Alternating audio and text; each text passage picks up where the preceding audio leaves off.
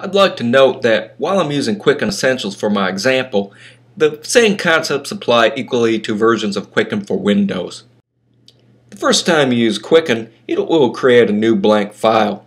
The data file name is actually listed in the title bar of the window, and the default location where files are stored are in your User Documents folder. If for some reason you're not seeing your file in the Documents folder, you can always command click on the title bar and that'll show you the path of where your file is located or you can use Spotlight and search for .quicken data and this will show you all the Quicken Essentials files that are on your machine. Quicken for Windows users should search for a .qdf file and that will bring up all Quicken for Windows files. One thing to be aware of is that Quicken uses a database to store its data. As you work in the program, it's constantly saving all your changes to disk. That's why you won't find the traditional save in the file menu because it's automatically doing it in the background. Now some versions of Quicken actually you will see a save a copy as and that has a different purpose. That's more when you want to extract all or parts of your transactions into a different data file.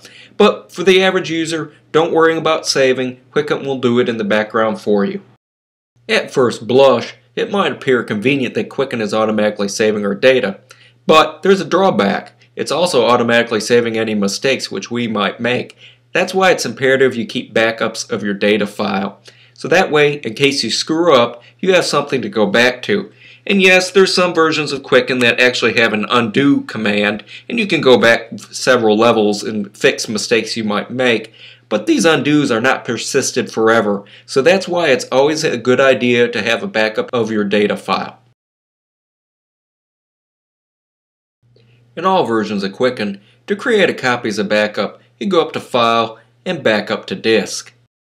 Alternatively, you can go to the Finder and find your file in your Documents folder and make copies of it there. If you wish to rename your file, you'd also do it in the Finder, but you have to quit Quicken before you actually can rename it. And you find the file in the Finder, and then you'll rename it. Windows users can accomplish the same using Windows Explorer. Here, I have a graphic showing the structure of a typical data file. At the topmost level, we see the data file name just as it would show in the Finder or in Windows Explorer. Within a single data file, you can have as many accounts as you like. Notice in this example, I use three. Now let's take a look at this with an actual data file. If you notice, here's John's finances, just as it is indicated at the top of that org chart. And over on the left, I have my three different accounts, just as I'd had in that chart. Selecting each one will show at the top of the banner which account I'm looking at, but they're still all within the same data file. Your different accounts, you can either set them up at the beginning when you uh, first create your data file, or you can set up accounts at any point as you need them. Just click down at the lower left and choose what account you need to add. Some versions of Quicken do have limits on the total number of accounts that you can have, but for the average user, they'll never exceed this limit. Don't worry about having too many accounts. You're not going to see a performance hit. And if you have older accounts that you no longer use, let's say you've closed a bank account, don't delete it, just simply hide it. Most users need only one data file. There's many reasons why. First of all, it's a lot easier to keep your accounts in a single spot than have them scattered across multiple files. This makes file maintenance a lot easier. You only have a single file that you need to back up. If you ever upgrade to a newer version of Quicken, you only have to do that once and you don't have the confusion of trying to figure out what accounts are in different files. Moreover, if we go back and look at the Quicken file structure, we can see that the lists such as categories, payees, and tags, and the reports and tools are global to all accounts. By being so, all your lists will be consistent and moreover, you can run reports across all your accounts. If you're trying to create a tax report for year end, it would be impossible to do if you had all your accounts in separate files.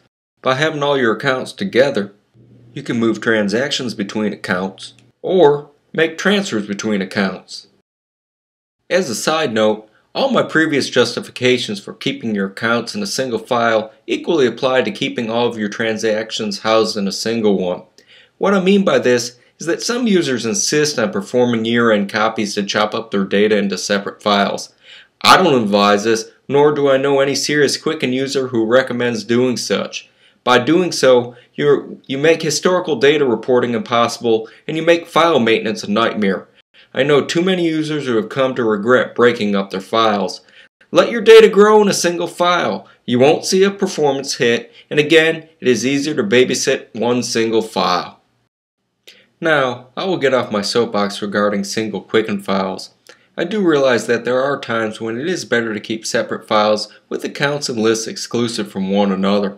Typical cases would include wishing to keep your personal finances separate from business finances. The business needn't be yours. As an example, you could be the treasurer of a church or a scout troop. You might also want to keep your personal finances separate from other people's finances you might manage. An example would be taking care of the finances of an aging relative. Or, if you have family members who share a user account but wish to keep their finances separate, then a separate Quicken file is prudent. I hope you found the previous information useful. It might be obvious to some, but others are sometimes confused by the differences between an account register and data files. To recapitulate, while you can have as many Quicken files as you like, if you're tracking your personal finances, you likely will only need one. And within that one file, you can track all accounts you have or have had. In short, you're creating one single repository that contains all your financial history. And since everything is in one spot, you can easily generate reports that represent your complete financial life. Good luck!